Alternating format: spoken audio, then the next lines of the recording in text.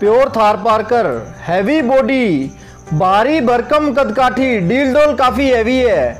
बड़े साइज़ का अडर है, लंबे मुठिया थन है। और बॉडी का स्ट्रक्चर हाइट लेंथ आप देख पा रहे हैं, काफ़ी शानदार, उम्दा क्वालिटी की गाय है। बड़े साइज़ की नाभि, सुंदर बड़ा गलकंबल, और जो थनों की साइज़ शेप बीच की दूरी काफ़ी शानदार है। नमस्कार दोस्तों, आप देख रहे हैं फार्म टॉक और मैं जयपाल सिंह राठौड़। हर घर देसी गोवंश, हर खूंटे देसी गोवंश। इस मुहिम को पूरा करने के लिए आज मैं आपके लिए थार पारकर नस्ल की बेहद सुंदर हैवी बॉडी स्ट्रक्चर की गाय पर वीडियो लेकर आया हूँ। ये आप खाली बाल्टी देख सकते हैं, आपको लाइव मिल्किंग दिखाएँगे। चारों थनों की धार आपको चेक कर कर दिखाता हूँ। आप देख सकते हैं, इतनी मोटी धार आपने शायद ही पहले कहीं किसी देसी गोवंश में देखी होगी। आप देख सकते हैं, जो चारों थनों की शाही शेप काफ़ी शानदार है। धार, शानदार मोटी है। ऐसी मोटी धार की गाय आपने पहले कहीं नहीं देखी होगी। ये चौथे थन की धार देखिए। चारों थनों की धार इतनी मोटी है कि आप चौंक जाएँगे और जो दूध निकालने का टाइम है, वह भी आप मेजर कर पाएँगे कि इतनी कम समय में और इतना अधिक दूध देने वाली गाय का दूध इतना जल्दी कैसे निकल सकता है।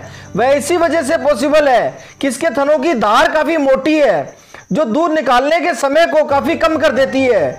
इतनी अधिक दुधारू गाय, यदि आपको ऐसे मोटी धार की मिले तो जो दूध निकालने का समय वह काफ़ी कम हो जाएगा।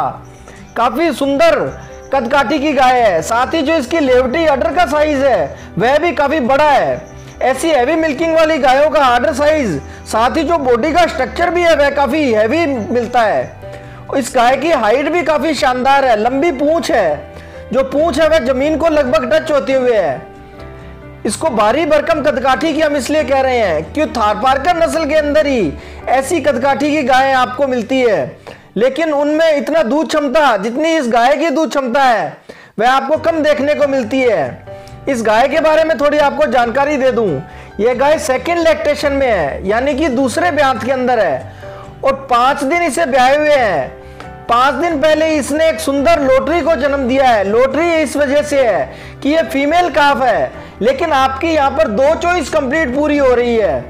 यानी कि गाय और उसके नीचे बछड़ी, आप इतने से ही संतुष्ट हैं। लेकिन मैं जो आपको बता रहा हूँ, वह भी आप जानकर चौंक जाएँगे कि इसके नीचे साइवाल नस्ल की बछड़ी है। आपकी दो डिमांड, यानी कि थारपारकर नस्ल की गाय और साइवाल नस्ल की बछड़ी।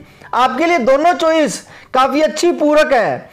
इनमें दूध क्षमता की बात करें तो गाय की जो दूध क्षमता है, वह काफ़ी अधिक है। उसके अकॉर्डिंग जो साइवाल नस्ल की बछड़ी है, उसकी भी दूध क्षमता के बारे में आप भविष्य में देख पाएँगे। ऐसी दूध क्षमता वाली गायों के नीचे यदि फीमेल काफ हो तो वह एक शानदार चॉइस हो सकती है। इस गाय को संतवीर सिंह कंग, जो विलेज केसरी सिंहपुर डिस्ट्रिक्ट श्री गंगानगर, राजस्थान के रहने वाले हैं। वह सेल के लिए अवेलेबल करवा रहे हैं। शांत, सरल स्वभाव में। और ऐसी हाइट लेंथ लिए हुए गाय कम ही देखने को मिलती है।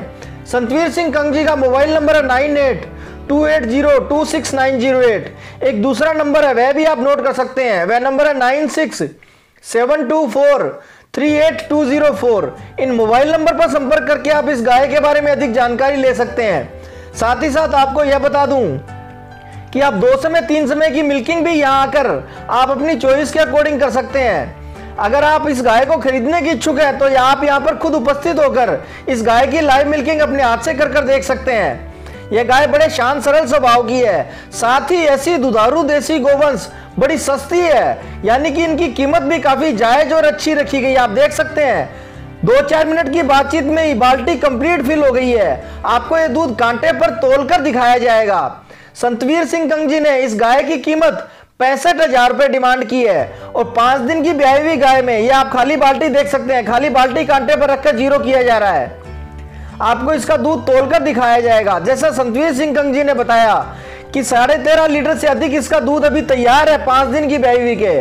आप देख पाएँगे कांटे पर दूध तोलने के पश्चात कितना हुआ है। जिससे आपका विश्वास बढ़े देसी गोवंश के प्रति।